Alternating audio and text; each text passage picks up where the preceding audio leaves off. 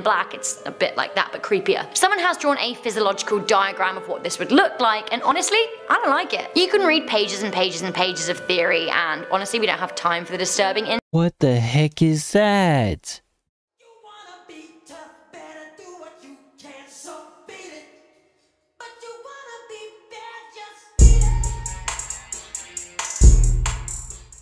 It. Alright, coming in at number 10, we have the homunculus theory from Cars. Sure, I actually wasn't ready for this. Like, why, why, why do theorisy people with their brains need to go around making disturbing theories? Why can't they just enjoy movies? Why? So Disney Pixar's Cars is a great film. I love it. It's set I in an alternate kind of universe where humans don't exist or they don't seem to. Maybe they did one day in the past, but they aren't around anymore. We never meet a human. The only sentient beings seem to be the cars themselves. And boats. I did see some boats. But mainly, it's cars. Hooray for cars. Cars as far as the eye can see. Cool. Weird, but you know, it's a movie, so let's just let it go. Which is what some people should have done. Unfortunately though, some people pointed out that if this is the case, if there are no humans around, then why do the cars have windows, door handles, mirrors, and a steering wheel? These are functions made for humans. Well, a theory goes that humans are actually living inside the cars, and the car outer shell is like a strange exoskeleton. Do you remember the tiny alien in the person's head in Men in Black? It's a bit like that, but creepier. Someone has drawn a physiological diagram of what this would look like, and honestly, I don't like it. You can read pages and pages and pages of theory, and honestly, we don't have time for the disturbing in What the heck is that? What? What the? Is that attached to his? Oh no. Oh no. The brain is attached. Oh no. But they have steering wheels. Headphones connected to the external. Oh, this is creepy. ins and outs, but I'll leave you with this. In the theory, they say that humans are lab grown in amniotic vats and then embedded within an automotive exoskeleton. Coming in at number 9, Carl was dead all along in Up. There is one super sad and morbid theory out there that goes that Carl, the lovely grumpy old man, died the night after the courts tell him he has to leave his home in his sleep. Everything else is said to be his adventure to heaven to be with his dead wife Ellie. Russ That's tough. is said to be his guardian angel, but an angel in practice who needs to earn his wings. In the movie, he needs a badge for assisting the elderly to become a senior wilderness explorer. Now, the theory says that Carl's guardian angel is a child because he and Ellie were never able to have one. So sad. The house that Carl and Russell fly away in is said to represent Carl's physical attachment to the present world, and floating up is said to represent his transformation from the real world to the spirit world. Paradise Falls in the movie is said to be the gates of heaven, which Carl eventually reaches. Was he dead this whole time? It seems the theory started on Reddit and ballooned from there. Pardon the pun, I'm honestly just trying to quell my pain with humour. Coming in at number 8, Boo grows up to be a witch. This is a saw this one. I saw this one. This one, uh, they were, they were saying she was the witch from, um, what is it called? Taint, not Tangled. Was it Tangled? No, it was from something else. I can't remember, but that theory was crazy.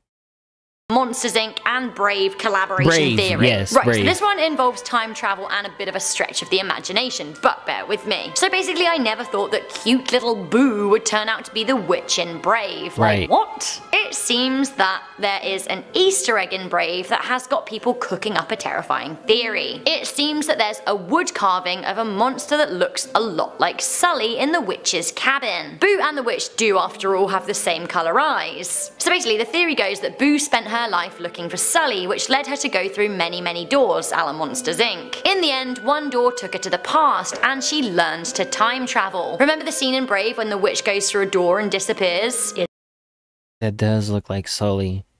Kitty! That does look like him. That's wild. Is it Boo? She'd know how to do this. There are further suggestions that the witch has seen the future. She carves a pizza van from wood. Again, she carves the Sully. Maybe she's looking for him, allegedly. Honestly, I can't fathom Sweet Boo being a baddie, but good theory. Coming into number seven, we have another Monsters Inc. theory. This one is like a collaboration with Monsters Inc. and Toy Story. Is Randall Andy's monster? In the first and second Toy He does kind of look like that kid that got scared, like in the bed, that was like the animatronic. I wonder if they're gonna movies, show. Andy is the perfect age for a monster. In Monsters Inc., monsters go around scaring kids just like Andy to help generate power. Now we know that Disney and Pixar love a good Easter egg, and if you look They do. closely, it seems they may have dropped a hint about what goes bump in the night in Andy's room while his toys are sleeping or motionless. This theory was pointed out by the Super Carlin brothers, who I absolutely love. Have a look at this. Now, this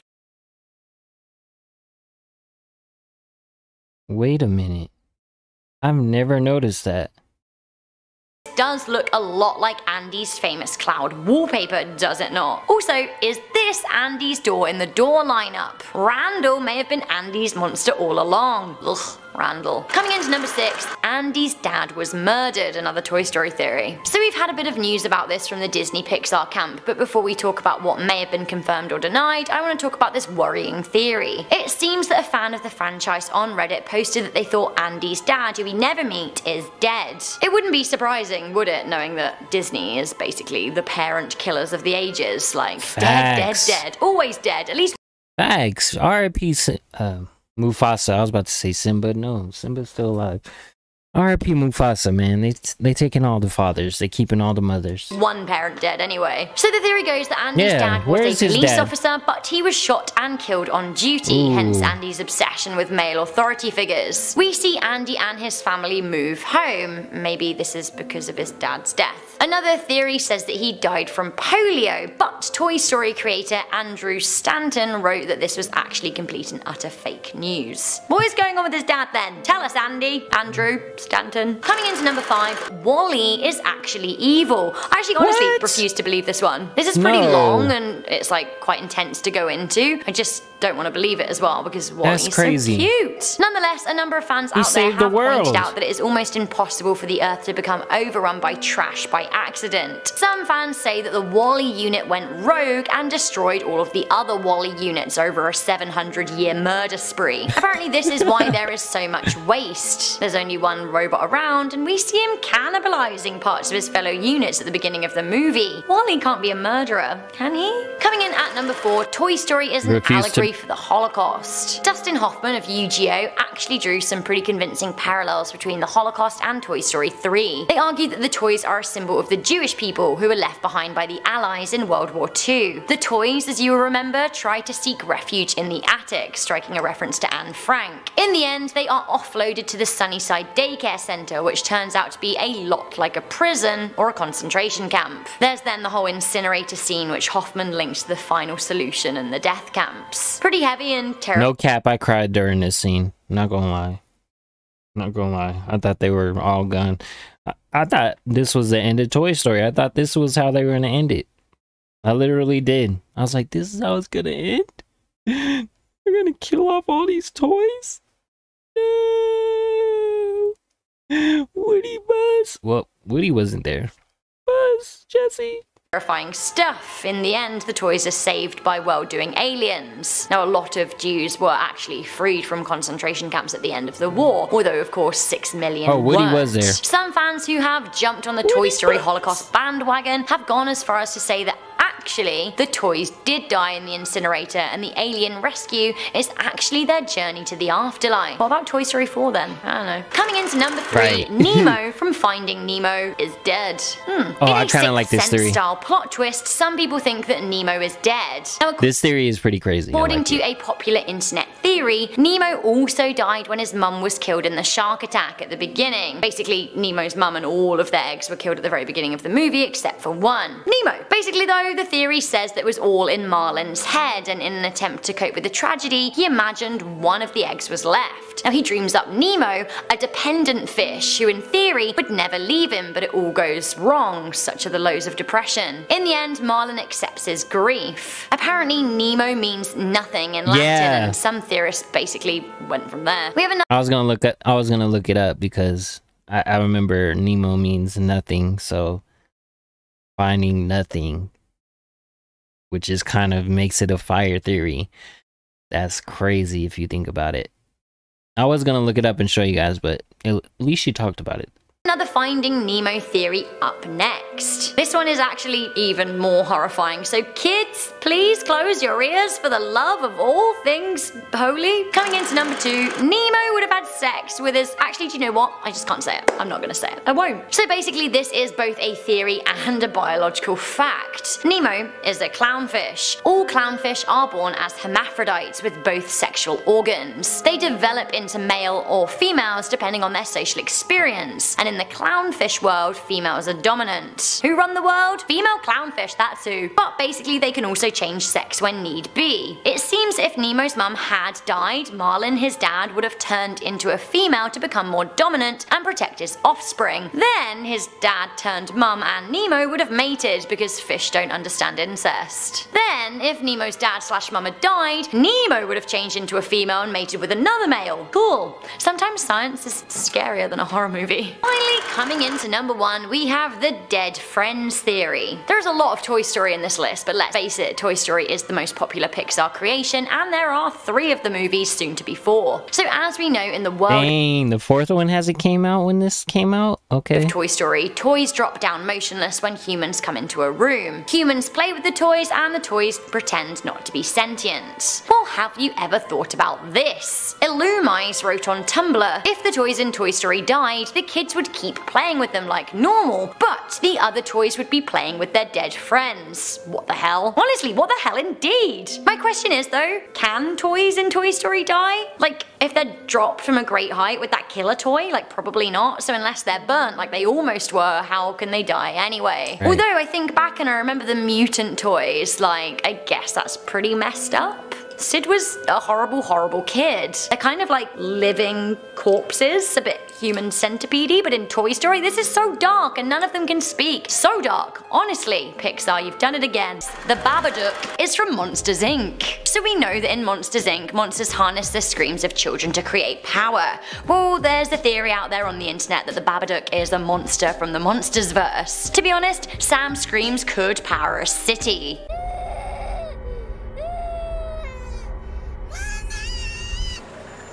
In the Babadook book, the monster comes from a closet, which is classic Monsters Inc. behaviour. Does Sam have his own door, and is the Babadook his monster? He's just a working monster like the rest of them, clocking in as 9 to 5. Then I have to say, maybe the gay icon Babadook with the smile and the colourful hat and sunglasses, maybe he could be the laughter era monster. See? It makes so much sense. Coming in at number 9, we have a huge aviation disaster and Edna Mode's death plot from The Incredibles. So Edna Mode is the woman who makes the superhero suits in The Incredibles, and if you remember correctly, she was very anti-cape. Guy. Oh, he had a great look. Oh, the cape and the boots. No capes. Who can even blame her as well? We did learn that the superhero Stratogale died when her cape got sucked into a jet engine. That was this means crazy. that she also likely took the plane down with her too. A bird in the engine can do this to a plane, so a human, well that's nasty. It is thought that the accident took place in 1989, forcing superheroes into hiding for 15 years until the film's release in 2004. So, the plane does look a bit like a United Airlines plane. We suspect that the incident happened in America. Could this plane crash have been the real cause behind the Denver to Chicago Flight 232 crash? Some people on the internet certainly think so. In that crash, 111 people died and 185 people survived. Beyond that, it gets even darker. It is thought that actually a cape was included on the villain of the movie specifically so he would meet the same fate. What about the people on the planes though? What about them? Coming into number 8, did Andy's mum abandon Jessie? This one has done a few rounds across the internet and it's... I've seen this one. That one is kind of touchy. That's crazy. They really should have pushed that. That would have been that would have been amazing if his mom would have seen the toy and be like, "I remember this toy." That would have been a crazy scene. That Andy's Like a- the like a sole backstory parent for in mom? his life, may have been a callous toy abandoner. We know that Jessie. But that does make sense though, because the mom introduced Andy to Woody, and Woody was a part of Jessie's collection, so it was kind of like it makes sense. was devastated when her previous owner Emily grew up and left her. Clues lie in Andy's hat, which looks way more like Jessie's. Could it have been a hand down from his mum? Right. His mum also mentions Woody is an old family toy, a collector's item from the 1950s, so maybe her parents. When we see Emily's room, it looks like Jessie and Emily were together in the 60s or 70s, making Andy's mum the right age to have been playing with toys, assuming she's in her early to mid 30s when the first Toy Story came out in the late 90s. In the box that Jessie is bundled into, we see other cowgirl paraphernalia, but the hat isn't there. Was the hat handed down to Andy? It certainly looks like it. Also, look at this shot of Emily as a teen. Could this be Andy's mum? It could be. Coming into number 7, Riley's parents aren't okay in Inside Out. Oh no, not an Inside Out one, please. I love Inside Out. It's a good sh- movie. I was about to say show, good movie. I can watch it over and over again. Worrying, isn't it? During Disney Pixar's Inside Out, we get to see inside people's brains, and I kind of like that. Not only do we see inside Riley's brain, we also get a little glimpse at other people's, specifically her mum and her dad's. Now, the interesting thing though is that when we peek into her mum's brain, we see that sadness is the leading emotion running the show, and that in her dad's brain, the alpha emotion is anger. So, her dad is angry and her mum is sad. That's pretty depressing, isn't it? We also hear his angry brain refer to her as simply woman, which he says in a derogatory way. What? What is it, woman? What? It doesn't actually really seem like from this quick snapshot that they're a very happy couple. There are other theories out there that Riley is adopted, but that isn't particularly dark or scary, so we'll leave that out for now. Coming into number 6, the bad guys are helping each other in Ratatouille and Up. Ratatouille is one of my favourite Pixar movies, especially because I love food and a cooking Do you guys remember the Ratatouille video game? That game was so fire to me. I, I, I just wanted to mention that. that game was so fire to me. Rat is hilarious. I also loved Up, although I am not down with the character of Charles Muntz. He learned that dogs are sentient and he basically then ends up abusing them as slaves. How did Muntz even find out that animals can communicate and work with humans? While some people think that he was in cahoots with the villain of Ratatouille, Chef Skinner. So Remy the Rat works with Linguini to create beautiful food, but when Chef Skinner finds out that Remy can cook, he tries to capture him and put him to work on a soulless frozen fast food project. In the end, Chef Skinner gets away, and the theory goes that Skinner flees France and heads to South America where he met the villain Muntz and told him the animal's secret. With that information, Muntz is able to develop his collars. Also, does this snap from Ratatouille foreshadow it all? Hey, that's crazy. Possibly. Coming into number 5, Toy Story is promoting the Illuminati. How did we get here? How did we get here? There's nothing like a mid-list top 10 appearance of the Illuminati. It's classic. It's a tale as old as time. This honestly is a bit of a stretch for me, but some people are convinced that Toy Story has hidden Illuminati themes. I don't know though. There are straws to be clutched and people are gonna clutch them. People are pointing out stars on the wall of Andy's bedroom. Stars of course are made of triangles and triangles are of course the ultimate symbol of the Illuminati. also inverted pentacles are a thing and they're spotted in a toy store. There also seems to be a sun pyramid on display. Lotso also references pyramids and Mrs. Potato Head has just one eye. Honestly, I do think this theory is ridiculous and I don't believe that Toy Story is controlled by a murderous and elusive secret order, but maybe I'm a skeptic. After all, what was happening at Walt Disney's Club 33? Coming into number 4, Andy has no friends and maybe he's a clone. There is something weird going on with Andy. Have a look at him. Here he is. We know that he loves playing with his toys, but does he actually have any friends? Sure, we meet them, right? But do we? There's a scene in which Andy is seen hanging out with his lad mates. The only thing is, they all have the same face. Andy's face. That's so wild. Hey man, it was like 1999 I think this movie came out. They didn't have they didn't have the opportunity to, you know, create everybody different. I'm sure Andy had friends. They just didn't have the, you know, the scale power to, you know, give them different faces, I guess. I don't know, but that's crazy. That's a crazy theory. I've never heard this theory.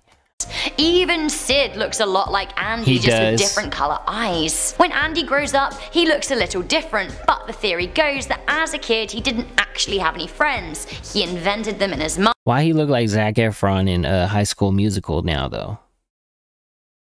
You can't tell me he don't look like Zac Efron in High School Musical now. He looks it's way better animation now than then, and I'm pretty sure they could make him have different friends that look different from him.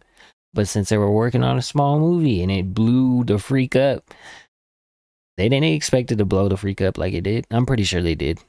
But same time, sometimes you just work on the main characters and not the other characters. Mind that, or he's a clone. Some people even think that Sid and Andy are related. Okay, listen, I don't like saying this as much as you guys aren't gonna like hearing it, but there are some darker sides to Toy Story when you really think about it. Get ready because I'm only gonna say this once. Coming in at number 3, the toys have all seen Andy masturbate.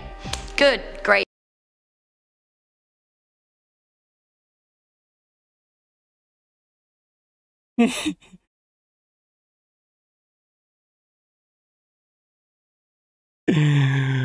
We're skipping this part. I do not want I do not want to hear this part.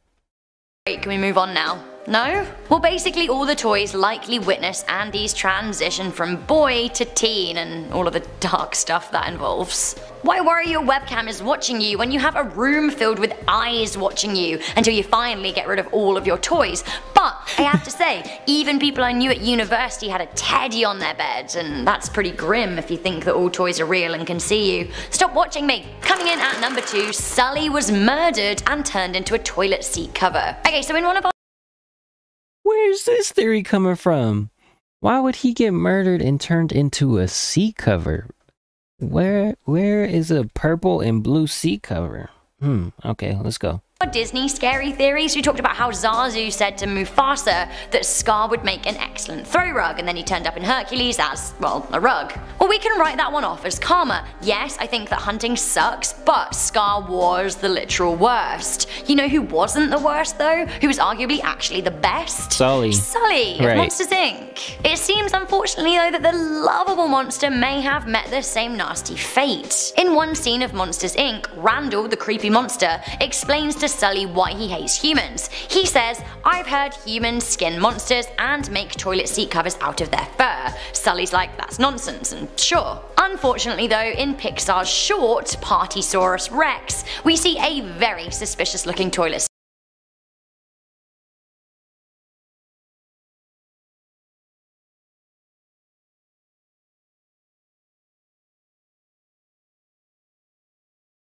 That's wild. That's a good theory. But golly, no. She obviously just loves Disney. He loves Monsters Inc. She probably watched the show. It's it's just Disney just giving us uh Oh my gosh, that kind of hurts. That hurts my feelings. seat cover. Like, it can't be. Can it?